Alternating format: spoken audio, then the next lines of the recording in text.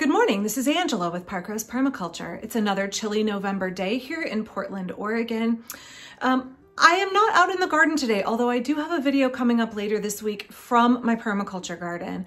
Uh, today I want to tackle a really kind of difficult subject that I've seen come up a number of times recently in permaculture groups. It is something that uh, I think is really important for us to look at and tackle if we want to have effective permaculture that is accessible for all people.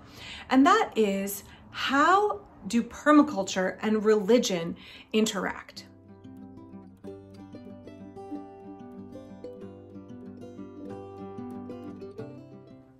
So let me start this video by saying that I am a white American woman who was raised Protestant and whatever my current spiritual and religious practice is, is actually not entirely relevant to this video and it's my own personal practice. But I will say that uh, it's really important that when we look at uh, permaculture and religion, we acknowledge what the majority of folks who practice permaculture were raised with, either nominally, culturally, or deeply held spiritual practices rooted in Christianity in some form or another. That's just the reality because most folks who practice permaculture are uh, white and they are uh, from European, American, or Australian uh, countries. And I think that whether or not we are practicing a Christian religion, we are all culturally somewhat rooted in a uh, Christian worldview.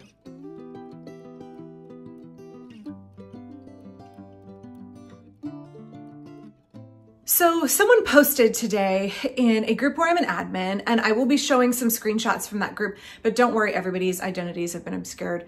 Um, the post was from someone offering an Islamic permaculture course and um, wanting to tie in the practice of Islam and uh, permaculture principles. And this post was um, highly contentious. And I think that's really, really unfortunate. And I kind of want to unpack that a little bit and use that as the launching off point for discussing religion and permaculture.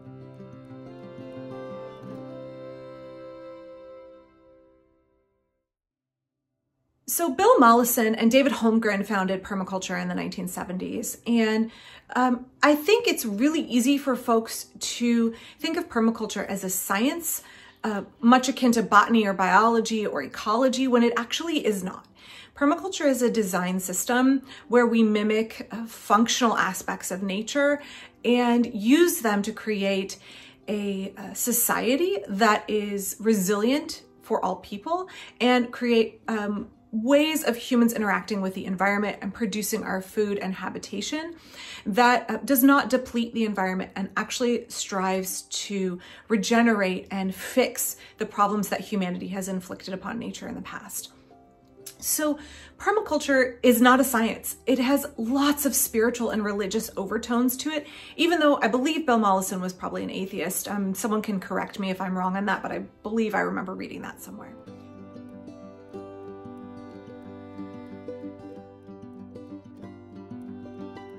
May ask, how does permaculture have religious overtones?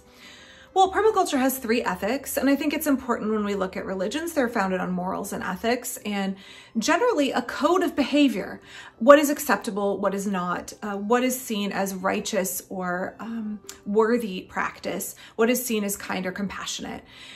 And uh, if you look at permaculture, it has a code of 12 principles to follow for design. So there's a lot of modeling and um, kind of using a religious framework from the very beginning of permaculture, even though it is not inherently religious itself.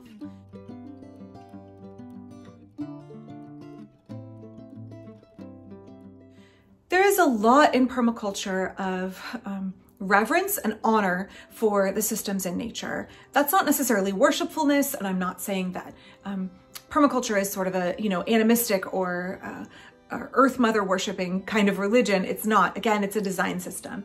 But there is inherently that uh, connotation and tie-in of a spiritual and religious feeling to permaculture. In fact, so many folks are drawn to permaculture because it feels like it fills a spiritual void. It's not just a way of gardening, it is a way of designing your whole life and your whole community to be in harmony with nature, to be um, respectful and uplifting of other people in your community and of nature. And that all, whether you like it or not, carries a profoundly religious uh, overtone and undertone to it.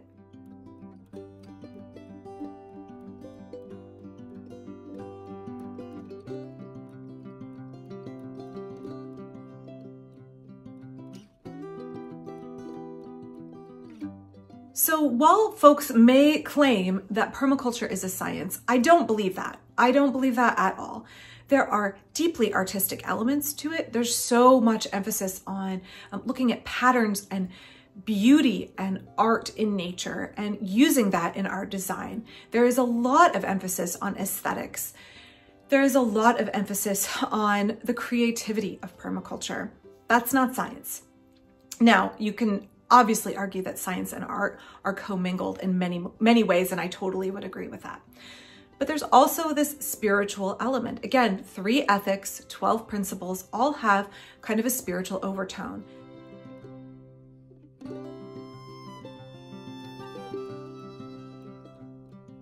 So the other issue is that I think a lot of folks come to permaculture because they have a really profound desire and longing to want to right the wrongs of humans in the past, to correct the injustices and the exploitation of the past, to heal the planet, to find solutions for world hunger, to help all people live in harmony with each other and with nature.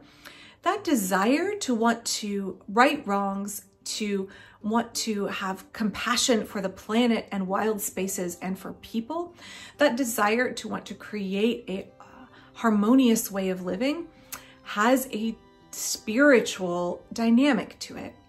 Now, of course, I'm not saying that you can't come to permaculture if you are a secular humanist or an atheist or what have you, but I do want to help us understand that there is that framework of spirituality kind of underpinning all of the elements of permaculture, whether Mollison intended it or not.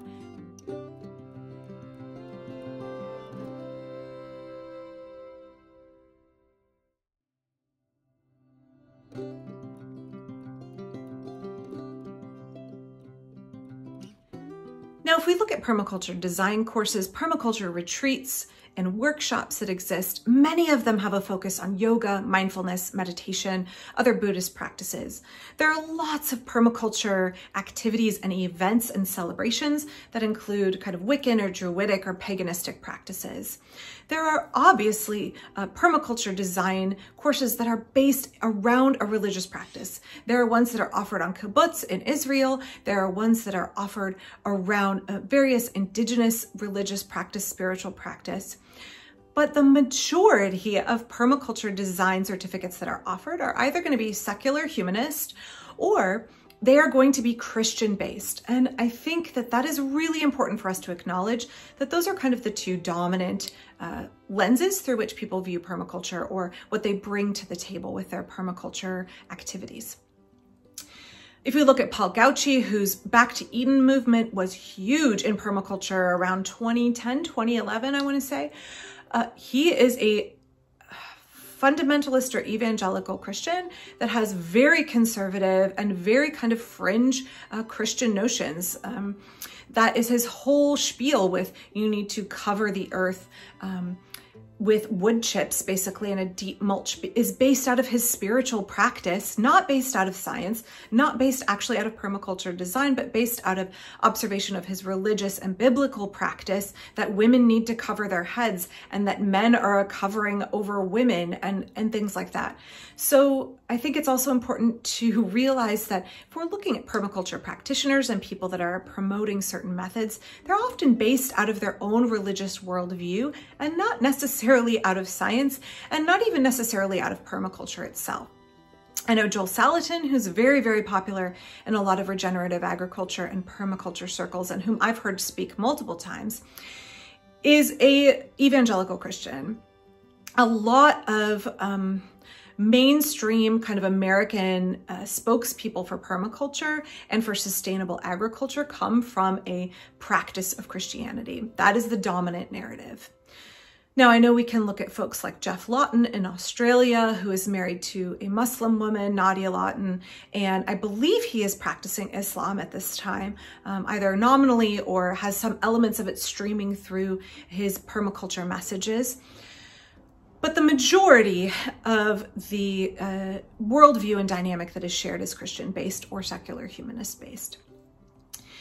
So back to this post that came up in this permaculture group where I admin. Uh, it is a post for an Islam uh, interwoven permaculture workshop. So let's just put it this way. I had to delete more than a dozen comments and ban multiple people from the group after some really gross Islamophobic um, and hateful comments that were put out there. But there were a number of comments that said there is no place for religion in permaculture. And again, as I've just laid out, there are tons of spiritual and religious interweavings of permaculture um, throughout its entire run thus far. I think that it's really important that we make the distinction that if you don't want religion in your permaculture, you don't have to have it. But that doesn't mean it isn't meaningful to somebody else. That doesn't mean that um, permaculture is inherently anti-religion. It doesn't mean that permaculture is inherently atheistic. In fact, if we talk about permaculture as being accessible design to create a sustainable way of living for all people, we're going to have to be open and accepting to religious practice being commingled with our permaculture. The majority of the world views their life through the lens of their religious and spiritual practice. And we can't ask them to divorce the uh, foundational underpinnings of the way they live their life uh, from their permaculture practice. That's just not fair and it's not even remotely possible.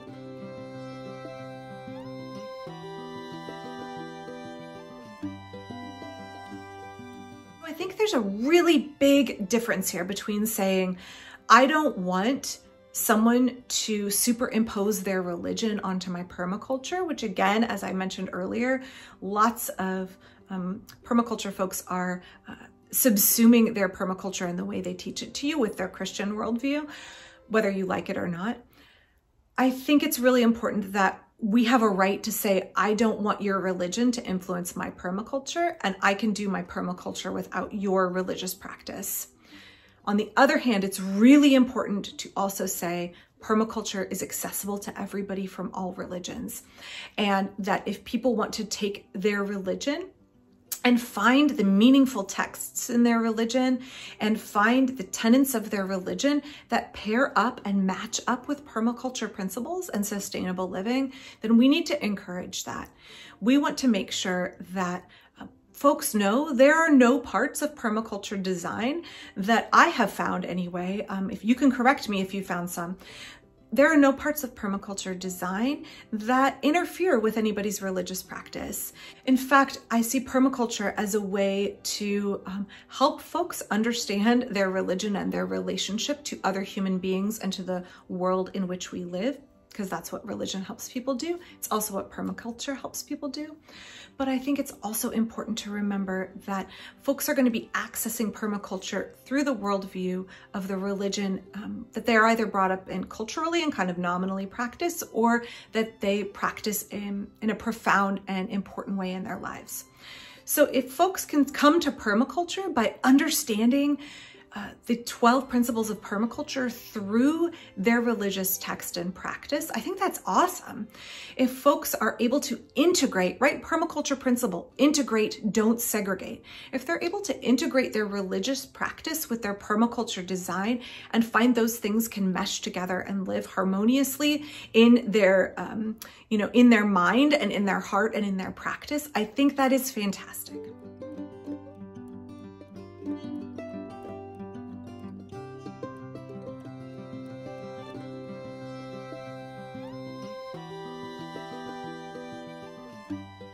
So permaculture cannot be inherently antagonistic to religion. It also cannot in any way dictate religion. And I think if we hold those two things up and say we need to remember those at all times, we can find that permaculture really is people care and really is accessible to everybody, whether they have no religious practice, whether they have a nominal religious practice, or whether they are um, deeply spiritual and religious. As long as we make sure that we are not superimposing our religion through our permaculture, and as long as we make sure that we are not using permaculture as a way to exclude people who have religious practice, think that we're doing permaculture correctly. Permaculture should not have gatekeeping. It should not in any way bar people who have a deeply held religious practice from participating because we need all people to do permaculture and permaculture has value. It brings diversity, it brings resilience, it brings improved quality of life for all people. And people who have religious practice have a right and a benefit of accessing permaculture, just like folks who don't or folks who practice a dominant religion.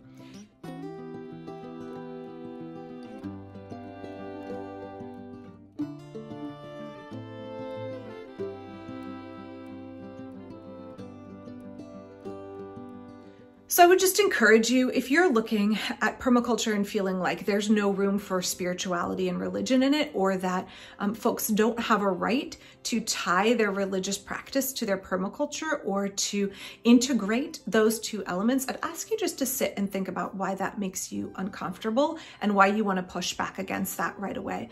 Because I think it's really important that we allow all of those things to marry in a way that doesn't oppress people, in a way that doesn't impinge upon people's uh, rights and in a way that is open and accepting so that we all can practice permaculture with site specific design. That includes community specific design. It includes worldview specific, religion specific design.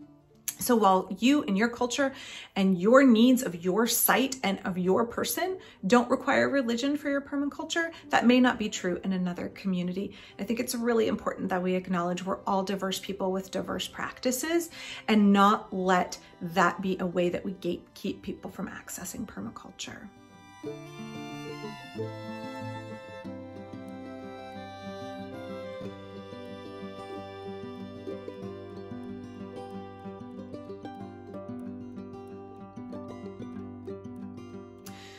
So I'm going to leave it there for now. I'd love to hear your thoughts and comments. I do want to acknowledge really quickly at the end of this video, because it is a topic I'm thinking about covering more in depth later, that um, permaculture borrows heavily from traditional indigenous practices, both spiritual and practical agricultural practices and lifestyle practices. And I think it's really important that when we look at the formation of permaculture, we acknowledge the way that it has taken from indigenous practice and repackaged it um, by a couple of white dudes in a way that is palatable to a white Christian audience. And so that is a topic for another video. I'm really interested in talking about colonialism and permaculture, even though I get really nasty messages in my inbox uh, every time I bring it up. But I I really want to talk about that later. I don't want to fail to acknowledge that that ties in here in this video, but I want to give it its own separate space. So I hope to do that soon. Um,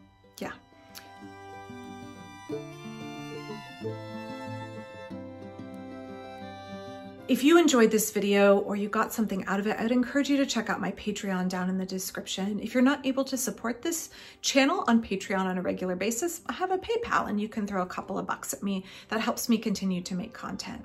I'll be back really soon from my permaculture garden. Thanks.